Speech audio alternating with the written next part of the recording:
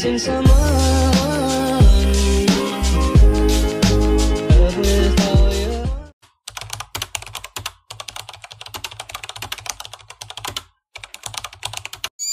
Sorry, um, the rides are here though. The hay bale ride is so cute, but the color isn't right now. The good thing is it changes every day. So if you're looking for a new color, just wait in the game time, not like real days, the game time.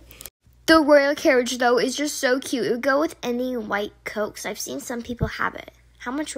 That's a lot of Robux. Okay. All right. Did I? Did I just? Okay, no. It was a refresh. I thought I just bought it there for a second. That would have been nice though. I would just like to thank you all for 65 subscribers. Over 50. And I promised myself, hey, I'm going to do a voice reveal. So here I am. I've been really busy lately, and so was Ella. We're really sorry. Um, I'm just to say, I'm the co-owner. Hello.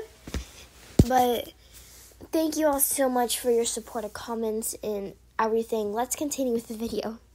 Okay, so apparently you can make your own carriage for leather, rope, and wood, and you can color whatever color you'd like. So let's go do that right now. What you need to craft the cart is 20 logs, 5 leather, and 5 rope, which can all be bought from Larry for not a big amount, I don't think. But you will need a driving harness, and that is in bridles and harnesses. The driving harness is 10 leather and 5 rope, which also can be bought from Larry, of course.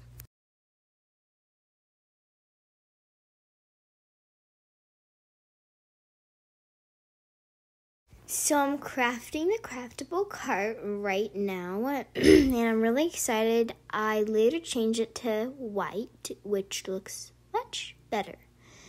But got the driving harness too, and uh, let's try it out. Okay, let's try it on. Um, let's go. Oh my, that's that's adorable. I mean, this is the highest speed it can go, which is not. It's decent, but I think I would get a little impatient. But honestly, this is so cute, so I would still use it.